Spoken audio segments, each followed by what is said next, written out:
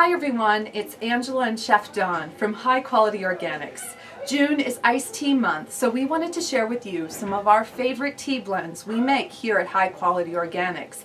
You can enjoy them hot, but of course in summertime, we love to enjoy them over ice. Now Dawn, the first tea we have is a lemon rose tea. Can you tell me about it? Yeah, Angela, this tea is very aromatic. It's reminiscent of standing in a fresh cut hayfield. Oh, that's really surprising. I Mm-hmm. wouldn't think a lemon rose tea would be so green in its Mm-hmm. aroma. It's very traditional of the licorice to have hay-like notes. Mhm. And the rose, although you'd think it's floral, actually is a back note. Oh, it's Mm-hmm. lovely. It's really cleansing on the palate, very refreshing. Mm-hmm. I love it. I would think I would smell a lot of rose or taste a lot of rose, but it's all very subtle, very Mm-hmm. nice and balanced. It is. Nice. Mm-hmm. Wonderful. So the second tea is a lemongrass tea. Mm-hmm. Tell me about that tea.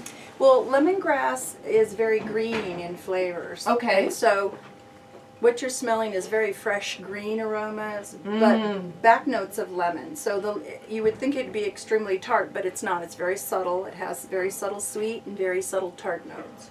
Oh, interesting. It almost smells a little bit like a mint lemonade. Mm-hmm. Um, and when I taste it, I think of, oh, this would be a wonderful tea to enjoy after a hot summer's day when you're Mm-hmm. working in the yard or after a good yoga class or something. Wonderful. It's de- Lemongrass. Mm-hmm. It's delicious. And both of these are tea blends that we make at High Quality Organics.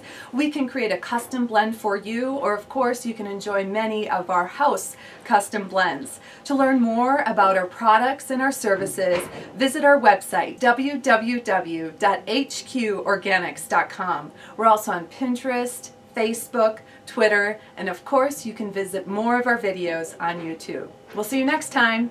Bye-bye.